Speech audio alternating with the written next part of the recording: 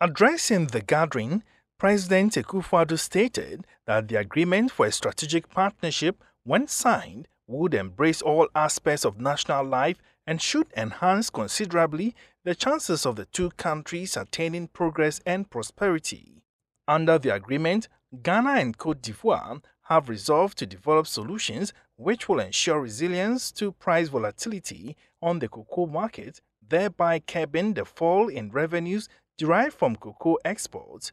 Touching on litigation in Hamburg on the delimitation of Ghana and Cote d'Ivoire maritime boundaries, President Akufo-Addo said that irrespective of the outcome, his government and the Ivorian government will continue to work in a healthy manner of cooperation to deal with the consequences of the pending judgment. What is of paramount importance to our two populations is the peaceful exploitation maritime resources for their benefit.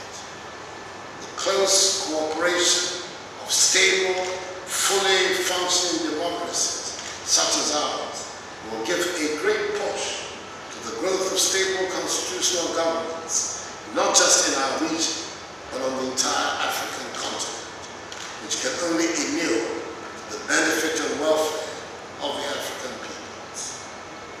He called for Ghana and Cote d'Ivoire to be at the forefront of the process that will convert ECOWAS into a true regional market. The Order of the Grand Ivorian Cross, which was awarded to the Ghanaian president for highly distinguishing himself in his service to the state, is Cote d'Ivoire's highest national award.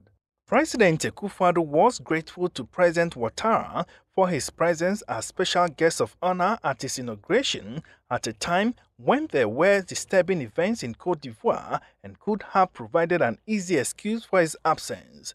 Adele Kwesi Mashtube reporting for Metro News.